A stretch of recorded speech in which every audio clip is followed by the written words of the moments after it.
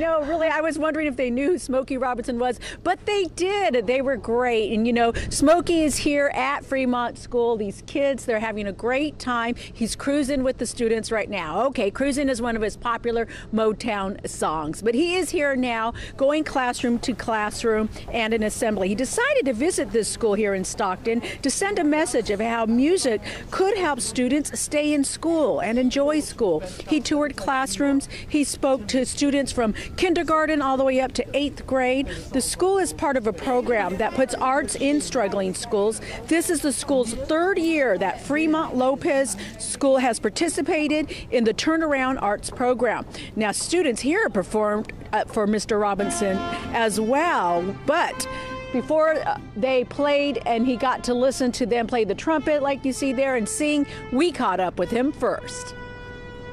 Uh, what brings me here is my love of the kids. And um, I am a supporter of the arts being in the schools.